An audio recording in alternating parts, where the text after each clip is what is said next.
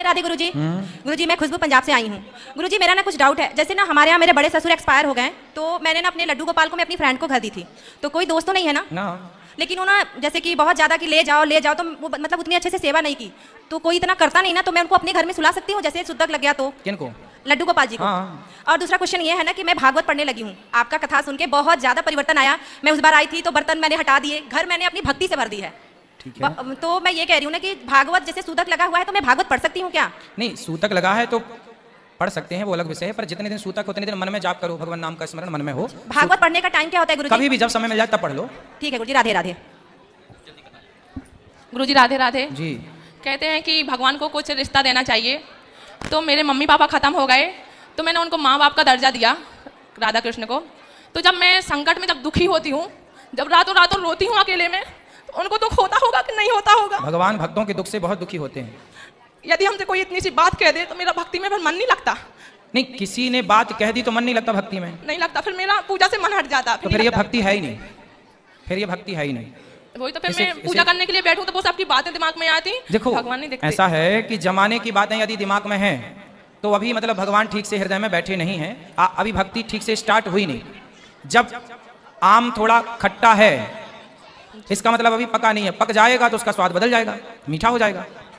उसी तरह जब आप किसी की बातों का आप पर कोई प्रभाव ना पड़े किसी के अपमान का सम्मान का कोई प्रभाव ना पड़े मन केवल भगवान में ही लगा रहे तब तो श्रेष्ठ भक्ति है। ये भक्ति है कि किसी व्यवहार का आप पर कोई प्रभाव ना पड़े ना अपमान का ना सम्मान का।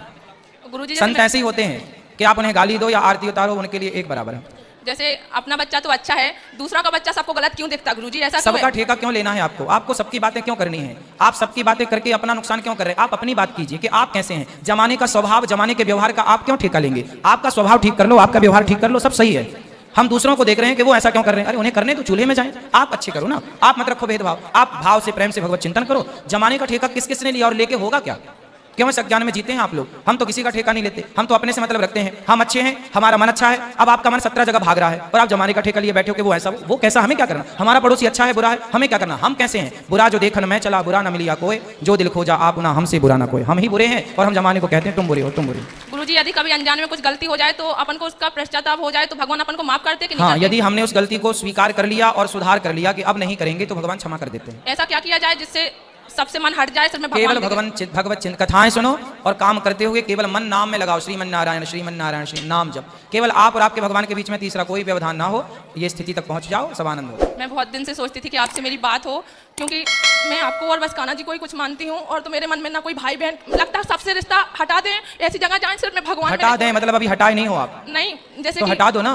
बस मैं हटा दो हटा दे क्या है? जब तक नहीं हटेगा तब तक शांति नहीं मिलेगी। संसार में व्यवहार करो भाई से अच्छा व्यवहार करो बहन से अच्छा व्यवहार करो बाप से पति से अच्छा व्यवहार करो लेकिन प्रेम भगवान से करो जगत में इतना आसक्त होने की ज़रूरत नहीं है। ठीक है? खुश रहो। राधे राधे।